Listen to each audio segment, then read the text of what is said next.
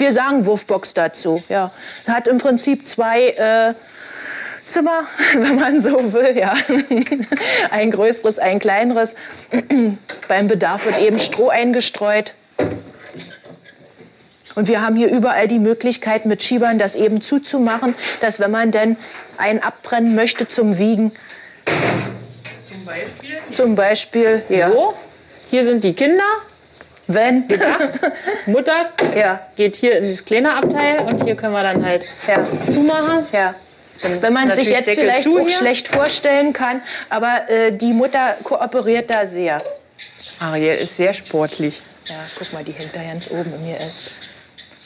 Aber sie macht jetzt einen richtig entspannten Ja. Eindruck, ne? Ja, das stimmt. Sie hat sich mächtig hat einen- beruhigt. Sie hat doch einen ganz anderen Gesichtsausdruck jetzt wieder gekriegt. Mhm. Denn die war ja so richtig, wenn die rausgeflitzt kam hier aus der Kiste, da sah die ja immer so verklemmt aus.